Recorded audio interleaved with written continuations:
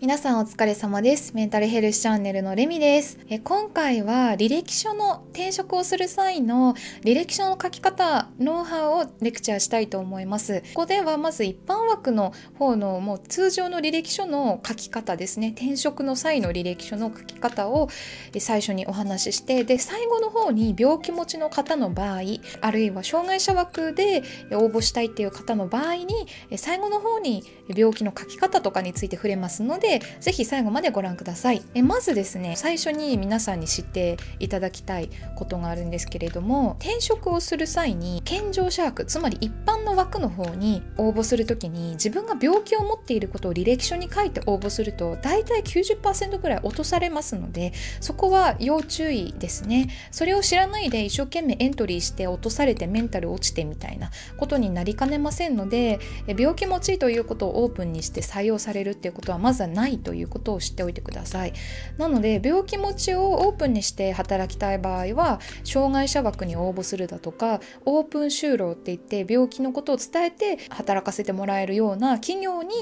応募するというふうにしてください。私の場合ですけれども選考がね何社かは通過してで面接も何社か受けていたので、まあ、そんなによっぽど変なことは履歴書に書いてないかなと思うのでいろいろアドバイスできるかなと思いますのでレクチャーしていきたいと思います。まずず転職ですね。新卒の就職の場合は、まあ、履歴書だけでよかったりするんですけども転職となると履歴書の他に職務経歴書っていうのが必要になります。この両方を作成する必要があるのを覚えておきましょう。履歴書もね職務経歴書も手書きではなくてパソコンで作成します。えバイトとかね新卒で就職するなんて方は手書きでね履歴書書いてたと思うんですけれどもこれが転職となるともう手書きっていうのはダメです基本的にパソコンでワードとかエクセルとかで作ったものを使用します。私はだいたい40社か50社ぐらいエントリーしたんですけれども全ての企業がパソコンでデータで送付してくださいというふうに言われたんですよね。で企業から手書きで書いてくださいって言ってきた企業は1個もなかったので皆さんパソコンで作るようにしましょう。でもし万が一企業から手書きの履歴書を出してって言われたら手書きでいいかなと思いますがほとんどないと思います。履歴書のフォーマット、まあ、これ職務経歴書もそうなんですけども転職サイトにあるものを使って大丈夫です。で私の場合はユーダさんのフォーマットを使ってますね。履歴書の障害者枠の履歴書になるんですけれどもこれはね専用のものを使う必要があるんですね。なので障害者枠に応募したい場合は専用の履歴書をダウンロードしてください。私の場合はクローバーナビさんの履歴書を使ってたんですけれどもこのクローバーナビさんの履歴書って志望動機がついてないんですよ。なのでもし皆さんがクローバーナビさんの使いたい場合は志望動機欄を自分で付け加えてください。それをね付け忘れないように気をつけてください。履歴書を書くにはいくつかのねルールがあります。例えば数字を書くところであれば英数字で全て統一するとかね。で数字は半角なら半角で統一するとか。全角だったらどれも全角で統一するっていう風に統一感をね持たせるように書いてください。住所とか学校名とかも省略をしないで書きます。1の2の3ではなくて1丁目2番地〇〇アパート3号室みたいな感じで省略をしないで書けます。でフォントはそのフォーマットをダウンロードした時に適切なフォントが出るように設定されてると思うんですけれども明朝体とかゴシック体とか標準的なフォントを使うように気をつけてください。それから履歴書を書く上でとっても大事なことがあるんですけれども空白部分を作らないことです。これがすごく大事なので覚えておいてください。これは一般枠でも障害者枠でも大事なんですけども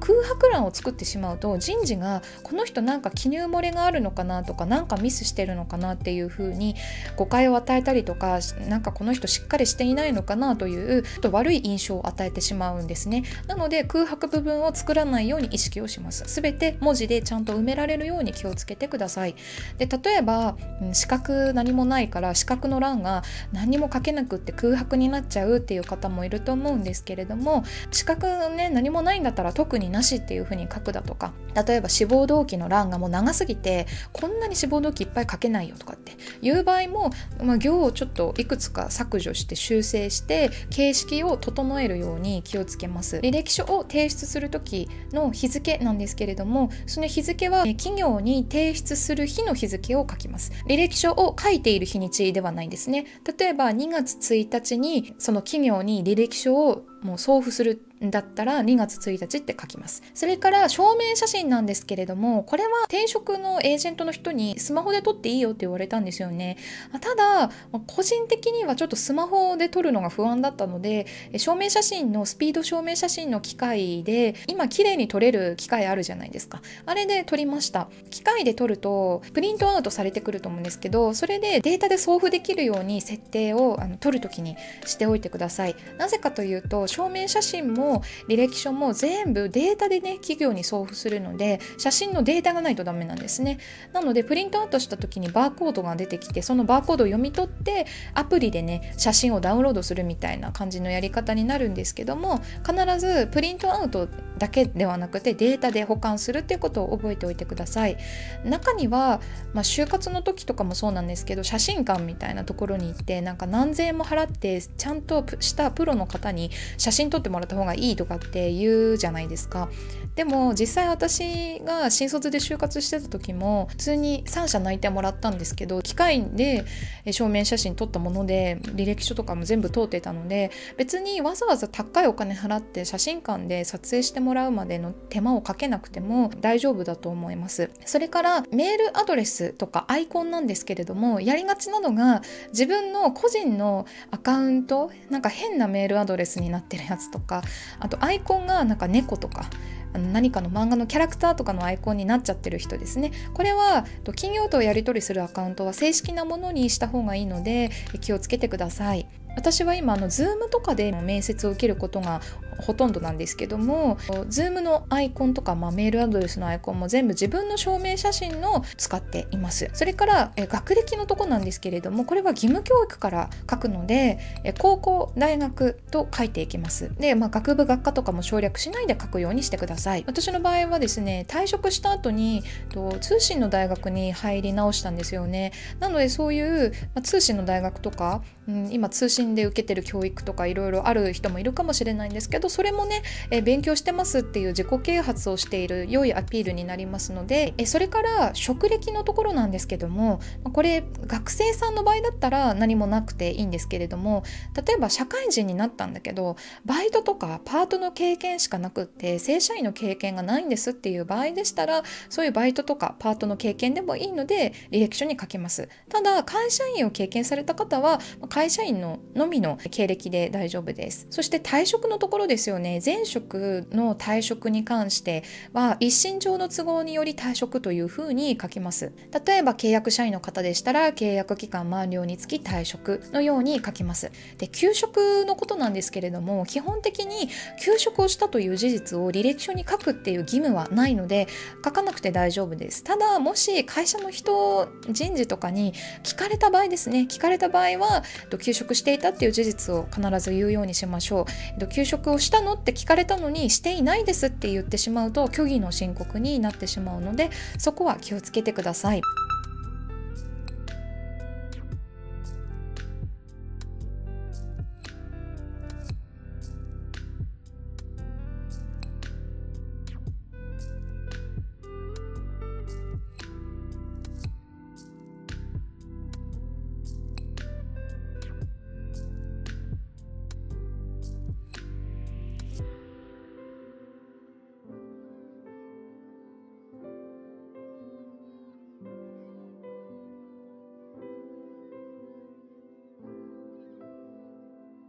ブランク期間ですね。退職した後とかに一定期間ブランクが空いてしまっているっていう方の場合どういうふうに書いたらいいかっていうとまず私のケースなんですが在宅の仕事をこういうふうに YouTube とかもやってましたし通信の学校とかにも通ってたのでまずは在宅の仕事に10時っていうふうに書いてます。あとは通信の学校に入学っていうことも書いてますしあと資格の勉強を何かされていた方でしたら何々の資格の取得に向けて勉強中とかでもいいですしあとは就労移行支援とかリワークとかそういうものに通っていたんでしたらぜひそれも書いてください。何か継続的な活動をやっていたよっていうことをブランク期間に書けるようにしましょう。これがブランク期間を空白にしてしまうとなかなか採用されなくなってしまう可能性があるのでとにかくブランクがある人はその間に何かしらの活動をやっていたっていうことをアピールするようにしてください。それから資格の欄ですけれどもない場合は特になしって書きます。で基本的には自分の持ってる資格を書けばいいんですけれどもまだ取得していないんだけど勉強中だよという資格も皆さんあるかと思うんですね。なのでそういう勉強中のものでも今頑張ってね勉強してるんだっていう向上心があるっていうことをアピールできますので勉強中のものも書くようにしましょう。それから自己 PR と志望動機ですね。ここはもう絶対に面接でも必ず聞かれる部分なのでちゃんと書いておきましょう。まず志望動機なんですけれどもこれはなんでその会社に入りたいのか。その会社のどこに魅力を感じているのかっていう部分とそれからその会社で自分は何を活かせるのか自分の経験をどのように活かせるのかこの2点をしっかりと書いていきます。学生さんとかだと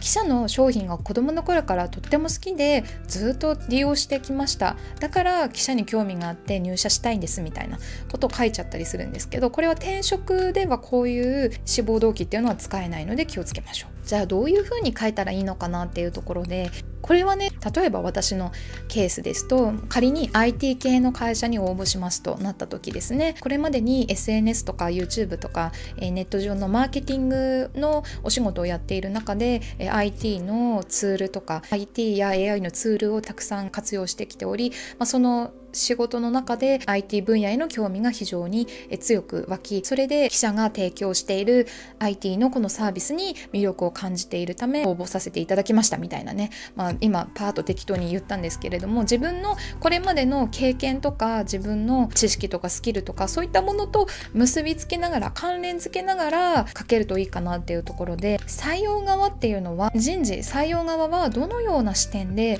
志望動機とか、まあ、その履歴書を見てるかっていうとこの人は一体この会社に入ってどういう風な働き方をしてくれるのかな？どういう風に貢献してくれるのかな？そういう視点で見てるので自分がこれまでこういう経験があるから記者ではこういう風な働き方ができます。このように貢献できます。そういう視点で書いていくんですね。でこれは自己 PR も志望動機も会社によって全然使い分けていくことができます。例えばなんですけれどもこれまで事務のお仕事をしていてで次転転職する時もジムでってなったらこの転職先でのジムでこれまでの自分のね経験とかを生かしてそのまま働けるので志望動機とか、えー、自己 PR ってすんなり書けると思うんですけども例えばこれが営業の経験しかないですと。で途中でそのうつとか何か病気になっちゃってもう営業で働くのは難しいから次はじゃあ事務系のお仕事がいい。っていう風に業種とか職種とかをチェンジする場合の書き方ですよね。この場合は例えば営業をこれまでやってきたお仕事の中でも何かしら事務的な作業ははあったと思うんですね。例えば、うん、契約書とかいろんな書類を作成するとか顧客のデータを管理するだとかいろんな日程調整をするスケジュール管理をするエクセルに何かねデータを入力するとか何かしらは事務的な作業もされたことはあると思うんですね。なのでそういうふうにじゃあ今後、えっと、事務のお仕事に就きたいってなった時これまでの経験で事務的な作業をやっていたものがあればそれとこう結びつけていって書くっていうのが結構大事かなっていうところです。これは面接の時も同じで自分の希望する職種就きたい職種があったとしたらそこに自分のこれまでの経験が活かせるような結びつけ方話し方をしていくっていうのがすごく大事になってきますただここで大事なのが転職する場合特にね病気持ちであったらなおさらなんですけれども新しい職種に就くってっていうのはかなり難しい。ハードルが高くなるんですね。なので普通に病気を持っていない健康な人ですら全く違う職種に就こうとなった時は採用されづらいんですよね。例えば今まで営業やってたのに突然人事になるとかね人事で転職したいとかそういうふうに未経験の職種っていうのはハードルが高くて採用されにくいのでちょっと気をつけた方がいいんですけれども、まあ、さっきも話したようにこうランクを下げるみたいな仕事の内容をちょっと下げることはできると思うんですね。これまでバリバリ働いてきた方が今度はちょっと事務的なゆったりした作業ができるような職種っていうふうにこうハードルを下げるってことは可能ではあるんですけれども全く未経験なのにきなりプログラマーになるエンジニアになるみたいな。特に病気を持っている方はそういうふうに全くの未経験の職種に就こうとするのはかなり厳しいっていう部分もあるのでできれば自分の過去のこれまでやってきた業務の経験を活かせるような職種の方が採用はされやすいのかなというところですね。でまあこれは面接とかまで進んでからの話になるんですけど例えばその会社で営業職を募集してるとします。でそこに応募してみてで蓋を開けてみたら実は他の職種も応募していてであなたはちょっとこのポジションがね空いてるからそこのポジションで働いてもらうのもいいかもしれないなんていう話にもなったりしますのでなんかエントリーとかする時は意外とそのその職種に限定して人事の仕事をやりたいってなって人事だけを、えー、募集している会社にだけをエントリーしなくてもこう結構幅広くね見て総務人事っていうふうに幅を広げるだとかそういうふうにして応募してみたりすると案外募集はオープンではしてなかったんだけど実はこういうポジションがあってみたいなっていうふうに面接で話が進む可能性もありますので間口は広げた方がいいかなっていうとこですね。それからここからは障害者枠病気をオープンにして履歴書を書いていきたいという方の場合になるんですけれどもまずですね障害者枠に応募する方の中で職務経験験がないという方もいらっしゃると思うんですけれどもそういう場合は就労移行支援での実績とか訓練内容っていうのをアピールしましょう。例えば半年間就労移行支援に継続して通えて通えていてでこういうことを訓練してきました。えだから記者でも実績経験っていうのを生かして働くことができますということをアピールします。障害者枠になってくると何が活かせるかとかどう貢献できるかとか成果を出せるかということよりも安定して就労してもらうっていうことが障害者枠では結構第一とされていますので自分がしっかり長く安定して働けますよっていうことをアピールする必要があるので就労移行支援とかを継続してこのぐらい通っていましたよみたいな自分がその会社に定着できますよという能力を証明した方がいいよっていうことですねそれから病名とか障害名を書くところになるんですけどもこれはまず自分が何の病気何の障害を持っているかっていうのを書きます。で何年何月に発症して。でまあ私の場合障害者枠に応募した時は休職していたこともね一応書いてました。え障害の状況を書く欄があると思うんですけれどもどういう症状が出るのか。どんな時にどその症状が出るのか。その場合にどういうふうに対処しているのか。どんな配慮が必要なのか。この4点を明確にはっきりと書けるといいかなというところです。ここで例えばなんか自分はちょっとこういう症状があって夜眠れないとか今は体調に波があるみたいなそういうネガティブなことを書いたら絶対に落とされますのでそれは面接でも履歴書にも書かないように気をつけてください。自分で病気とか障害のことをちゃんと理解していることそれから自分で症状をコントロールできていること。で業務には支障が出ないですよっていうことをアピールしないと落とされてしまいますしあとはそれができていない状態日常生活が不安定でもう全然ダメなみたいなそういう状態でそもそも就職活動するっていうのはとても危危険なことなのでまず自分の体調の安定をまずは優先させてからっていう風に考えた方がいいかなと思います。私はこういろんなキャリアアドバイザーだとかいろんな方に話して話を聞いて情報を得てきて分かったのが障害者枠で人事とか採用する側がどういうことを求めているのか何を知りたいのかっていうとその障害を持っている方病気を持っている方が何ができて何ができないのかっていうのを明確にしてほしいということなんですよね。その病気がどれだけ辛くてみたいなそういうことを知りたいわけじゃなくてこういうシチュエーションはダメですとこういうシチュエーションだったら大丈夫ですみたいな。そういうふうに何が大丈夫なのか何がダメなのかっていうのをはっきりと、まあ、履歴書にも書けるといいですし面接の時も伝えられるといいですよねっていうところで例えば1日8時間を超える長時間労働、まあ、残業が例えば週5日以上連続で続いてしまうと体調悪化の可能性があるため月の残業時間を何時間以内ね、あるいは何日以内に抑えていただけますと幸いですみたいな感じではっきりと明確にね数字とかを提示しながら具体的に分かりやすく書けるといいのかなっていうところですね。例えば発達障害の方とかだったらと指示をたくさんねいろんな方からあれこれ指示をされてしまうと混乱してしまうため指示をしていただく際には1個ずつ言っていただけると助かりますとかねなるべくそれをポジティブな感じで、えー、言えるといいのかなっていうところでこれがダメあれがダメこれができないあれができないみたいな風に伝えてしまうと